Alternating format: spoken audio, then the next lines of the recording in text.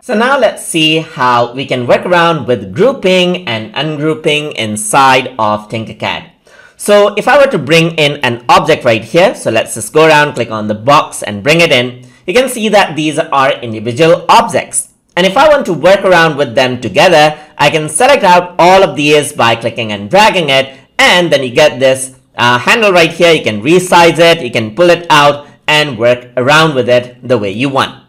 But if I were to click outside, they are all deselected. So they are individual object once again.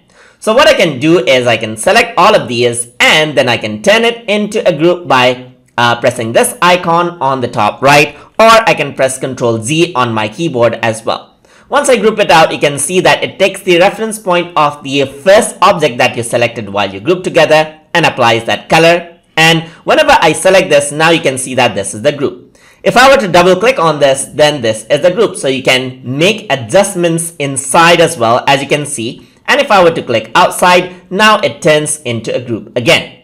And if you want to ungroup it, then you can click on this icon to ungroup it and now it is ungrouped out.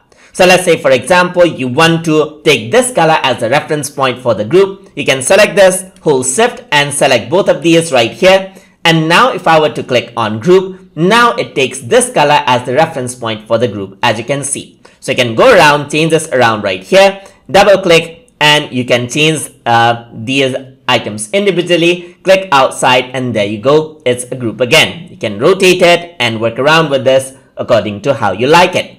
And then you can go around and ungroup this out as well. And that is how you can work around with grouping and ungrouping inside of Tinkercad so I hope you guys learned something as always. And as always please like comment share and subscribe